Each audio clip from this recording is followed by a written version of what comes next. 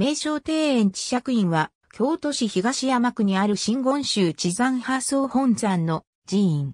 三号を五百仏山、次号を根頃寺という。本尊は、金剛会大日如来、海山は玄介。地山派の大本山寺院としては、千葉県成田市の成田山新勝寺、神奈川県川崎市の川崎大師平勘寺及び、東京都八王子市の高尾山芋院がある。寺門は、紀教門。地釈院は、もともと、木の国根頃山大伝法院の達中であった。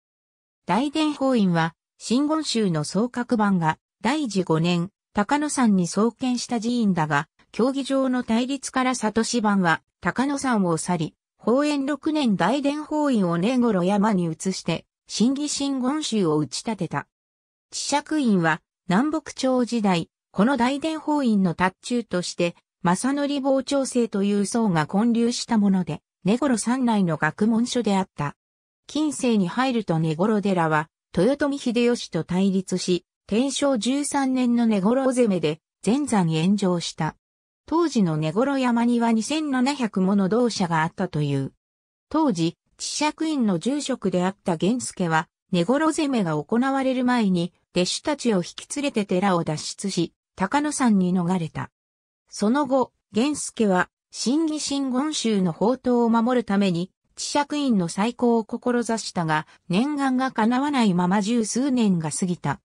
関ヶ原の戦いで、徳川家康法が勝利した翌年の慶長6年、家康は東山の報告者の付属寺院の土地建物を玄助に与えた。これにより、地釈院はようやく復興を遂げた。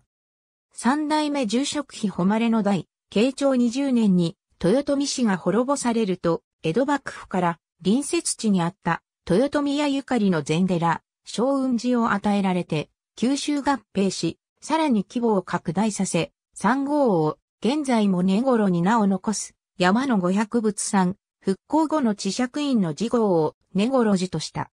小雲寺は豊臣秀吉が3歳で死去した愛寺、鶴松の菩提を弔うため、天正19年、妙心寺の僧、南か、元凶を海山に招いて建立した寺であった。現在、地釈院の所蔵で国宝に指定されている長谷川東博一派の障壁画は、この小雲寺の客殿に飾られていたものである。この客殿は、天那2年7月の火災で全焼しているが、障壁画は大部分が助け出され、現存している。現存の障壁画の一部に不自然な継ぎ目があるのは、火災から救出されて残った画面を継ぎ合わせたためと推定されている。近藤は、元禄14年3月、第10世、旋回僧正が発願し、継承院より与えられた金千両をもとにし、学旅からの寄付金を資金として、法営2年春に建立された。しかし、1882年に火災により消失した。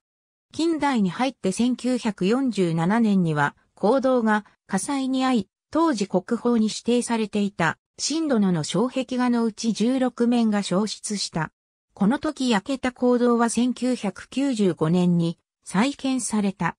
行動再建に先立って1992年に発掘調査が実施されたが、その結果小雲寺客殿の遺構が検出され、日本でも最大規模の壮大な客殿建築であったことが改めて裏付けられた。